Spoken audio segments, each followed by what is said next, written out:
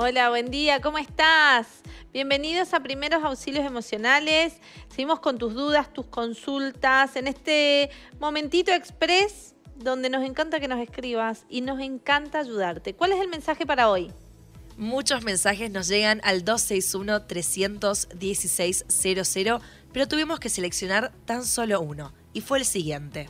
En los últimos meses me he enfrentado a una serie de rechazos en mi búsqueda de empleo. Cada vez que recibo una negativa, mi confianza disminuye y se me hace muy difícil mantenerme positiva. Noé, no quiero perder la esperanza. Necesito un consejo para ser resiliente. Bueno, ¿qué nos pasa con el rechazo? En realidad tiene que ver, más allá de la resiliencia, que ya te voy a contar lo que es, tiene que ver con nuestra tolerancia a que nos digan que no.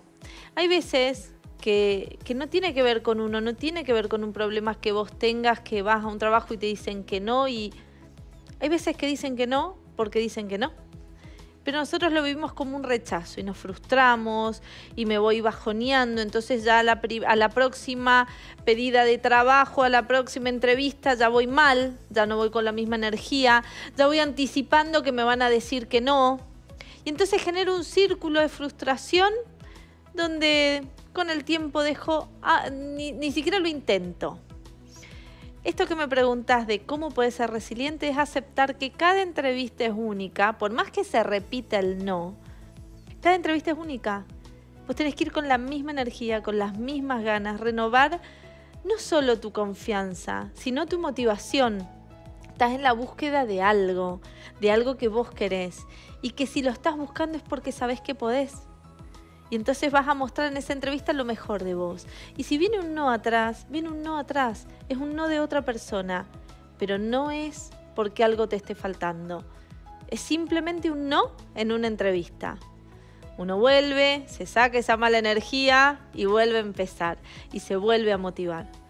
Entonces, la actitud resiliente es saber que cada situación es cada situación y que no es un arrastre y no lo asumo como personal la gente no me dice que no a mí. Quizás eh, no tengo el perfil para ese trabajo, quizás hay otra búsqueda, quizás no están convencidos de, ese puesto que ofrecieron.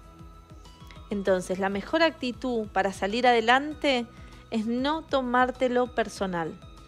Es aprender a volver a empezar, es saber que tenés la fuerza de levantarte y arrancar de vuelta. Ese es el mejor consejo que puedo, que puedo darte. Seguí intentándolo, no te desmotives, que estoy segura que afuera te espera un gran trabajo para vos. Tené paciencia. Este consejo te damos desde primeros auxilios emocionales porque nos encanta ayudarte en tu vida y en tu salud mental. Nos vemos la próxima.